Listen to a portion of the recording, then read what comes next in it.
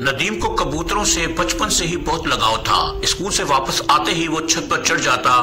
चार मंजिला मकान की छत से जब बहुत सारे कबूतर उड़ते तो उसकी गर्दन फख्र से अकड़ जाती।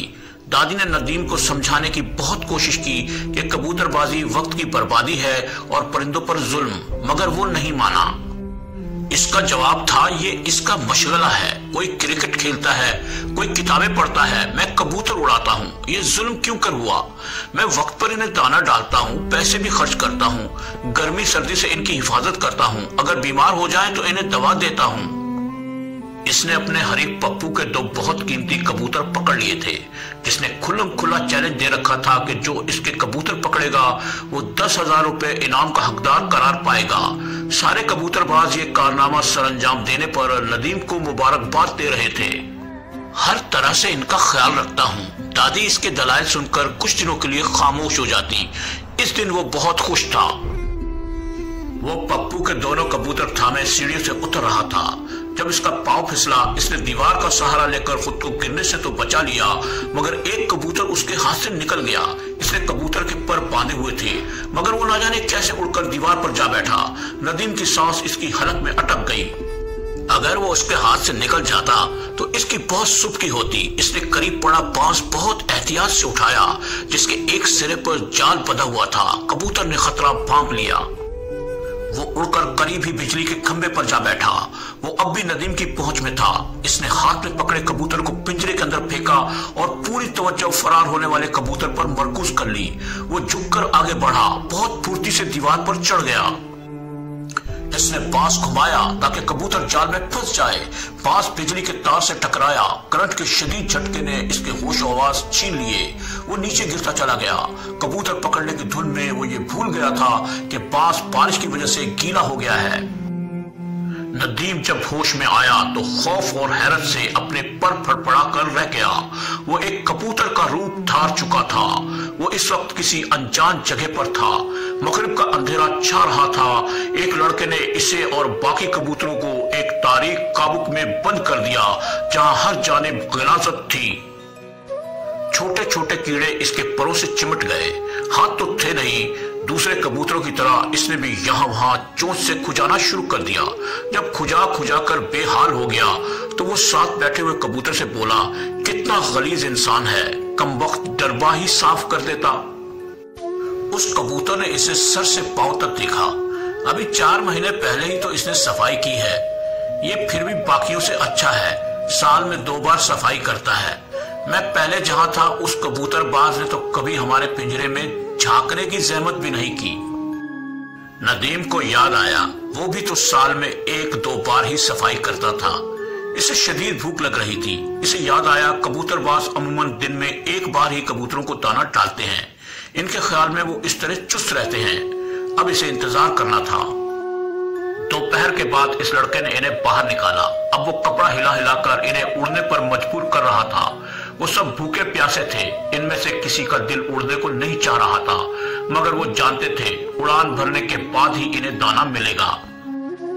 उसने भी दूसरे कबूतरों के साथ उड़ान भरी। वहाँ दो और टोरियाँ भी उड़ रही थी। थोड़ी देर वो सब इकट्ठा होकर उड़ने लगे। जब वो जुदा हुए तो नदीम की समझ में ना आया इसकी टोरी कौन सी है, लेकिन जल्द ही इसे करीबी छत पर दाना पानी नज़र आया। उसके साथी कबूतर इसी छत पर उतरे। वो भी भूख से बेकरार होकर दाने की जाने बढ़ा। तभी एक जाल इस पर आ गिरा। वो जो कोई भी था, उसने बहुत बेदर्दी से उसे हाथों में चकर लिया। कैंची देकर इसने खौफ से आँखें बंद कर ली थी। वो जानता था अब इसके साथ क्या होगा। इस शख्स ने इसके पर काटे और पिंजरे में बंद कर दिया। इसने गुटरगू गुटरगू करके खूब एहतजाज किया, मगर कबूतरबाज कब इस किस्म के एहतजाज पर कान धरते हैं? एक बूढ़े कबूतर ने इसे मशवरा दिया कि जब तक पर ना आ जाए, पिंजरे से बाहर ना निकले।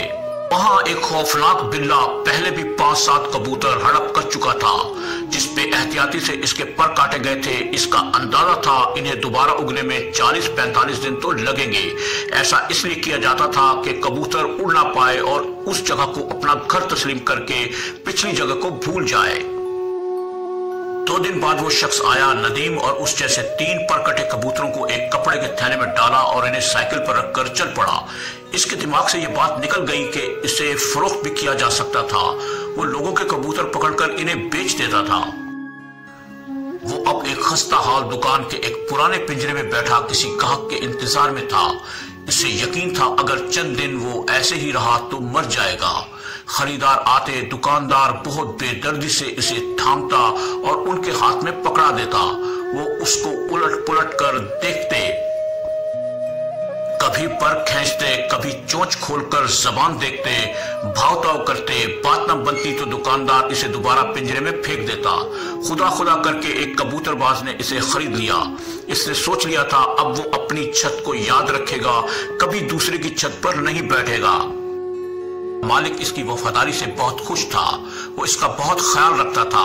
एक दिन सुबह ही सुबह इसका मालिक पिंजरे में घुस आया और इसे पकड़कर एक थैले में डाल दिया। नदीम का तो हलक खुश्क हो गया। वो शायद इसे बेचने के लिए ले जा रहा था। मोटरसाइकिल पर वो एक वीरान जगह पर पहुँचा। जब इसने नदीम को थैले से निकाला तो उसने देखा कि वहाँ दूसरे कबूतरबाज अपना अपना कबूतर हाथों में लिए खड़े हैं। वो एक गहरी सांस लेकर रह गया। इसकी वफादारी देखकर इसका मालिक इसे कबूतरबाजी के मुकाबले में ले आया था। उसकी वफादारी देखकर इसका मालिक उसे कबूतरबाजी के मुकाबले में ले आया था। इन तमाम कबूतरों में से जो पहले अपनी छत पर सबसे पहले पहुँच जाता, वो फाते होता। मुकाबले का आगाज़ हुआ।